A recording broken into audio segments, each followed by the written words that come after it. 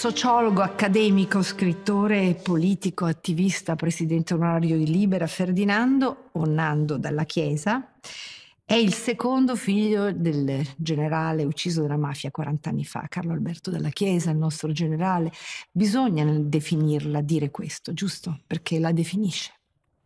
Beh, per forza. Eh, la mia vita ne è stata fortemente segnata eh, positivamente con qualche difficoltà, però eh, c'è un carico di responsabilità che ne deriva. Partiamo subito dal, dall'attualità più stretta che ci porteremo avanti per, per tempo. Eh, nonostante la cattura di Matteo Messina Denaro, evocata e sospirata da decenni, la mafia non è sconfitta, no? No, non è sconfitta. Lei è uno studioso, un esperto sì, della mafia da sempre. Quindi. Io sostengo che Cosa Nostra è in declino che Matteo Messina Denaro è una rappresentazione di questa mafia declinante. Eh, è sbagliato chiamarlo eh, il capo dei capi, non lo è mai stato il capo dei capi, e se è, è possibile questa espressione, e al massimo ha comandato la provincia di Trapani quindi non ne costruirei neanche una leggenda della storia della mafia. Certo ha segnato un problema per eh, lo Stato italiano il suo arresto. Dopodiché c'è l'andrangheta che è molto più forte e che sta conquistando posizioni su posizioni nel nord Italia e sta inquinando potentemente l'economia del nord. Mi sembra il grande problema questo. Il grande problema che però non è così evocativo, no? a livello anche di narrazione, di attenzione del, dell'antimafia?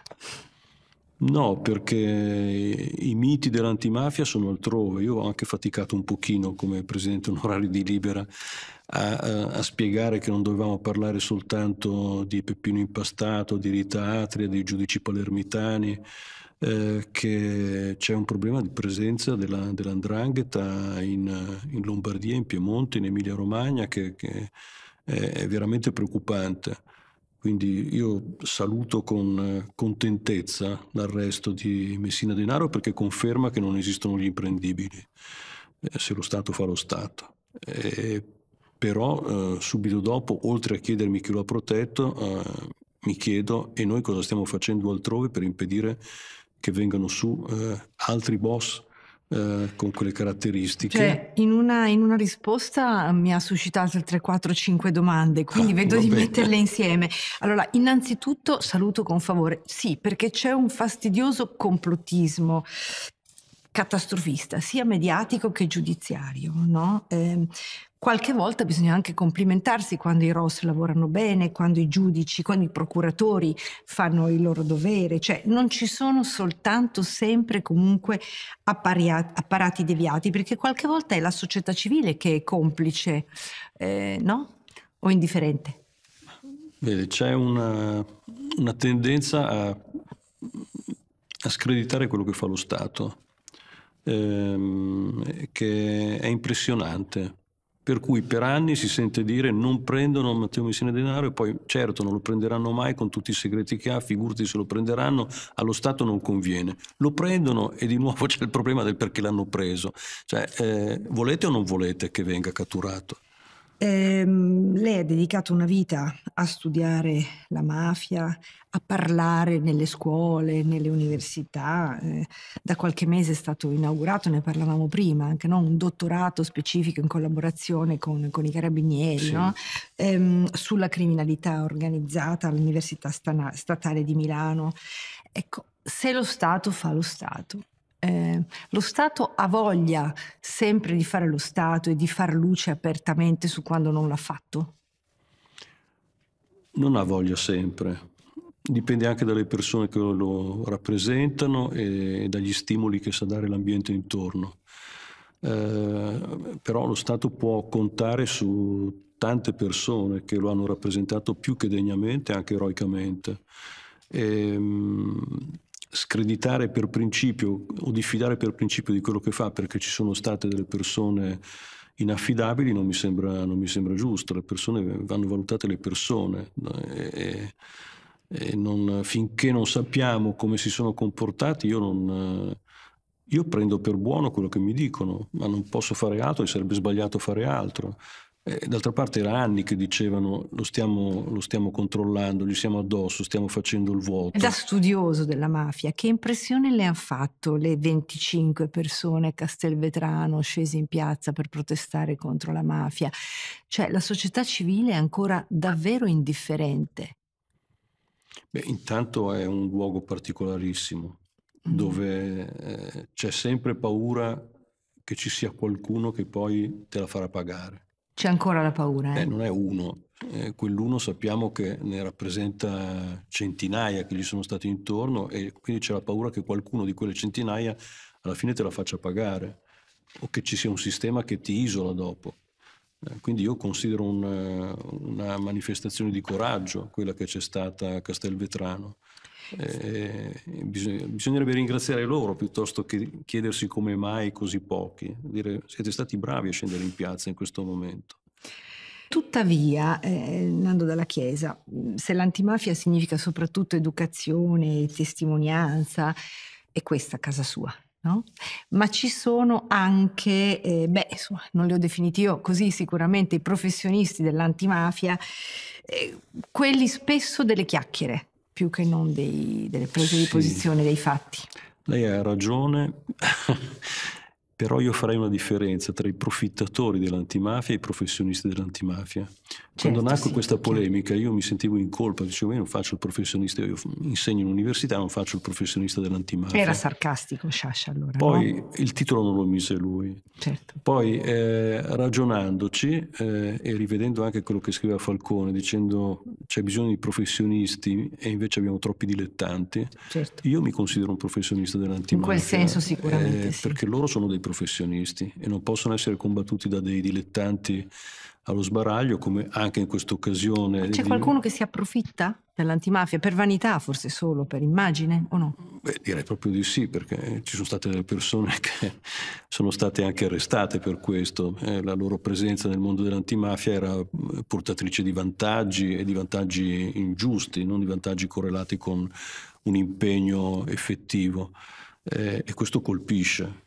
Eh, però credo che l'antimafia sia uscita bene da quelle esperienze e che non abbia guastato eh, la voglia di partecipare di, di tante persone. Eh, però i profittatori ci sono. E molto si deve anche ad un sacerdote che Don Ciotti e al suo lavoro a fianco di Libera, sì, no? eh, Don, Don, Ciotti, Don Luigi, come lo chiamo io, eh, non Luigi, come fanno tanti, perché c'è un rispetto che merita per tutta la sua vita e per quello che fa, eh, ha dato tanto, ha dato tanto e ha aiutato delle generazioni anche a, a sapersi impegnare direttamente, a non, a non applaudire soltanto. Ecco. Senta, papà la voleva carabiniere, lei ha fatto carabiniere, eh, ma a tutti i costi voleva fare sociologo. La sociologia in quegli anni voleva dire Trento, Renato Curcio, insomma, no? erano i maestri pericolosi. Insomma. E, ehm, si urlava carabiniere, basco nero, il tuo posto è il cimitero. cimitero sì. Mm. Perché hai insistito tanto per fare sociologia? Sembrava una materia più tecnica allora, no? Più che umanistica. Ma no, a me è piaciuta tantissimo in università. Eh, ricordo ancora come ho preparato l'esame, come ci sono arrivato, eh, quello che mi ha suscitato in termini di interesse. Vede, questa domanda me la fece anche una impiegata, una signora che eh, aveva un certo ruolo nell'amministrazione della Bocconi, dicendo ma lei perché fa sociologo? E, e, con suo papà, e io detto, ma eh, sono due cose diverse, è vero che allora c'era Curcio, però ehm, la sociologia era collegata con l'immagine Chiaro. di Curcio purtroppo, eh, però il, intanto la sociologia della Bocconi, che fu una fucina di, di, di sociologi nuovi, era un'altra cosa. Eh, lì eh, i, i, 30 politici non si vedevano e non li volevamo, non li chiedevamo, facciamo gli esami con più libri di quelli che venivano richiesti.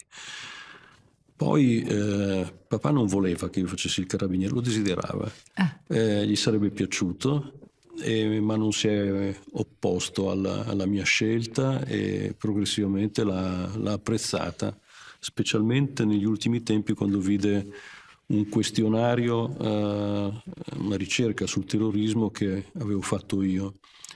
e che trovai sulla sua scrivania di, di Palermo.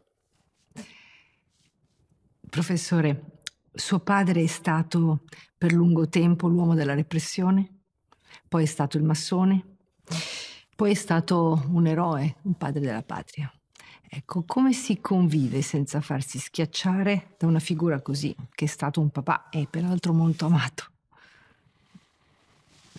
Eh, come si convive? Intanto eh, possono dire quello che vogliono, ma io l'ho conosciuto.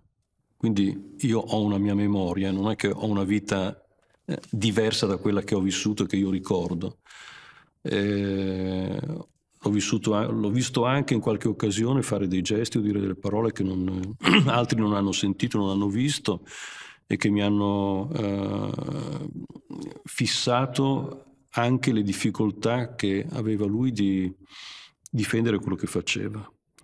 Eh, c'è una frase che dice a Biagi nell'intervista che gli ha fatto un anno prima che lo uccidessero, eh, che ci sono state delle responsabilità, gli è spiaciuto doversi tenere delle responsabilità che non erano sue per quello che questo aveva eh, comportato per la sua immagine. E faceva riferimento al, all'ordine che venne dato ad Alessandria durante una rivolta al carcere eh, di intervenire con le armi per liberare gli ostaggi eh, faceva riferimento a questo. Lo so perché quando la, la televisione diede quella notizia, eh, dicendo che il generale della Chiesa aveva dato ordine di intervenire con le armi, lui batté il pugno sul tavolo e dice ma cosa stanno dicendo? E poi ha taciuto.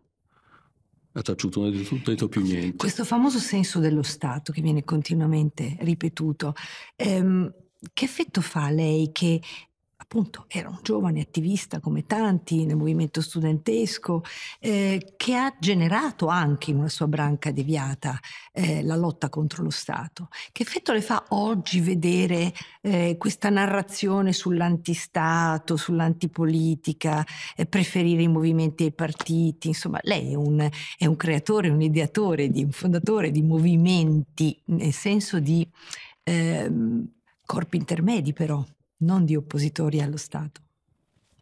Ma io mm, sono nato in caserma, come potrei non riconoscere lo Stato? Eh, sono nato, sono, ho bevuto il senso dello Stato, con, potrei dire con il latte, come si dice in questi casi. Eh, non, mi considero, anche da professore universitario, mi considero un rappresentante dello Stato. Pensi che è, è eh, è questo che mi porta in, a fare anche delle cose che sembrano secondarie, cioè a impedire, a vietare che facciano eh, gli esami in, in, luglio con i pantaloni corti. Cioè, sei davanti allo Stato, lo, lo, rappresento io. Quasi un conservatore. Beh sì, io sono una figura particolare, questo ne convengo. Sono un sessantottino nato in caserma. È molto a contatto, credo, nella nell'aver retto la, il, il, legame familiare, no? la, la, forza di una famiglia bella, unita, solida, anche il legame con le sue sorelle, poi con sua moglie hm? Emilia che è prematuramente scomparsa e, e, che l'ha sempre sostenuta. Certo, certo, e, le devo molto. Mm, anche perché è stata una storia che è andata avanti, io avevo 20 anni e lei 18 quindi tutta questa storia che sto cercando di, di, di, raccontare l'ha vissuta direttamente, poi da un certo punto in poi anche vivendomi vicino perché lei era a Palermo e si trasferì a Milano per stare con me. Ha condiviso anche pericoli e paure. Hanno pesato tanto le paure. Lei doveva muoversi con la scorta, anche se magari ovviamente non la voleva, ed è stato forse anche additato per questo come un privilegiato, no? No, ma io la scorta non l'ho avuta. La scorta non l'ho mai avuta. Eh, mio padre mi ha insegnato i segreti per non averne bisogno. Sono, se posso dirlo, gli stessi esatti che eh, diede una volta al ministro Andreatta che era preoccupato di alcune dicerie che erano arrivate dalle carceri e che gli chiese come fare, diede gli stessi consigli che diede a me. Quindi io non, eh, non l'ho cercata, poi eh, qualche volta il, la porta di casa, il cancello veniva sorvegliato da carabinieri senza che io lo sapessi, eh, ma non l'ho mai avuta la scorta. La paura sì. Mia moglie guardava dal, dal balcone quando stavo arrivando che ci fosse sotto casa, sì, questo pure. Senta, posso chiederle, suo papà e sua mamma sono, sono stati credenti. Ehm, posso chiederle se la fede, perlomeno dei suoi genitori, è stata un, un po' di luce nei momenti di dolore più grandi? Beh, eh, per mio padre sicuramente. Eh, mia madre è morta e, e, e, credo che abbia... Per lei, volevo dire. Per me. Direi il rapporto con chi aveva fede. Questo sì. Non posso vendere una cosa che, che non ho mai esplicitato. Quindi non lo so in che misura, se... Eh, certo c'è interesse per, e, e disposizione, però è stato il rapporto con chi aveva fede che mi ha aiutato molto. Ehm, la fiction con Castellitto, il nostro generale, ehm, perché ricordare e far ricordare la stagione del terrorismo? Perché per alcuni c'è ancora la tentazione di leggerla con un'aura un po' falsamente romantica, un'aura rivoluzionaria, no? eroica, eh, che quindi è da comprendere in qualche maniera. Eh, è proprio da quella parte politica a cui lei è appartenuto, anche perché ci credeva, cioè da una certa sinistra. Ma eh, eh qui è più frastagliato, diciamo, l'insieme degli atteggiamenti, eh, perché trovo eh, condanne molto nette del, del, terrorismo anche in molti eh, amici del movimento studentesco e un'ammirazione anche nei confronti della figura di mio padre. Eh, poi ci sono persone che non hanno magari contestato nulla, che però hanno questo antistatalismo di fondo, questa diffidenza, eh, per cui il, il generale è stato il grande repressore e non il grande difensore della democrazia.